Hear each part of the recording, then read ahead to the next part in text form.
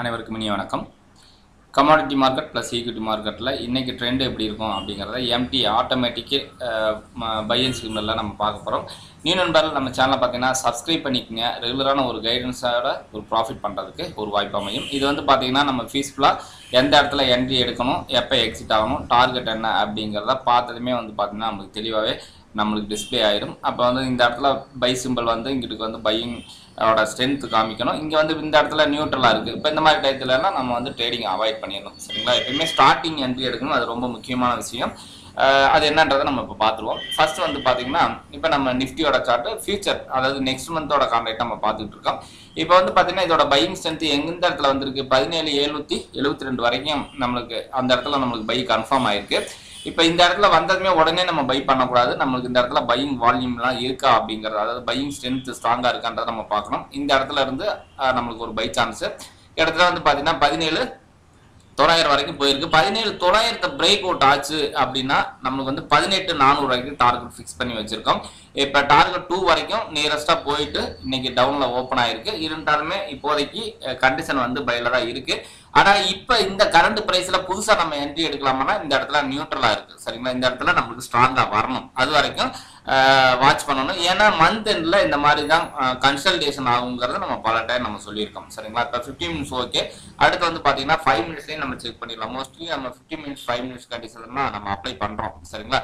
இப்போ இந்த இடத்துல வந்து பார்த்தீங்கன்னா இப்போ செல் சிக்னல் வந்திருக்கு. இங்கே மீடியமாக வந்திருக்கு. ஆனால் ஃபிஃப்டி மினிட்ஸில் பை இருக்குது அப்போ இந்த இடத்துல ஜஸ்ட் வாட்ச் என்ட்ரி எடுக்க முடியாது. சரிங்களா? செல்லுக்கு வாய்ப்பானா வாய்ப்பு இல்லை பைக்கு மட்டும்தான் வாய்ப்பு. மீண்டும் இங்க பை சிக்னலோட உங்களுக்கு கன்ஃபார்ம் ஆச்சு. எம்டி சிக்னல்ல பை வந்து இங்க வந்து பையிங் வால்யூம் வந்துச்சு. அதாவது பையிங் ஸ்ட்ரென்த் அப்ப தாராளமா பை சான்ஸ் எடுத்துக்கலாம். சரிங்களா?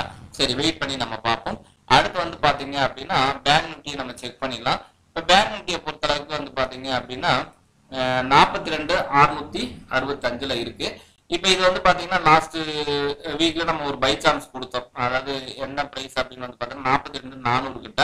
கிட்டத்தட்ட வந்து பாத்தீங்கன்னா நாற்பத்தி ரெண்டு ஐநூறு கிட்ட நம்மளுக்கு இங்க கன்ஃபார்ம் ஆயிருக்கு. பைங்கோட ஸ்ட்ரென்த் இந்த இடத்துல இருந்தே ஸ்டார்ட் ஆயிடுச்சு சரிங்களா?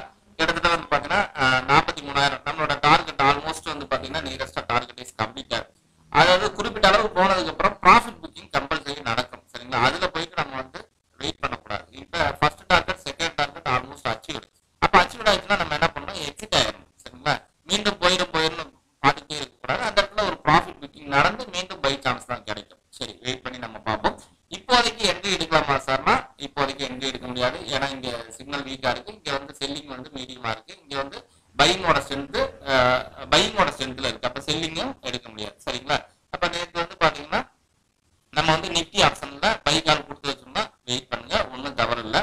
வெயிட் பண்ணி நம்ம பார்ப்போம் சரிங்களா அடுத்து வந்து பாத்தீங்கன்னா இப்ப கூடாயில் இப்ப கூடாயில பொறுத்தளவுக்கு என்ன சார் சொல்லியிருந்தோம் ஆறாயிரத்தி ஐநூறுக்கு மேல ஒரு பை சான்ஸ்ங்கிறது நம்ம சொல்லியிருந்தோம் பட் பிரேக் அவுட்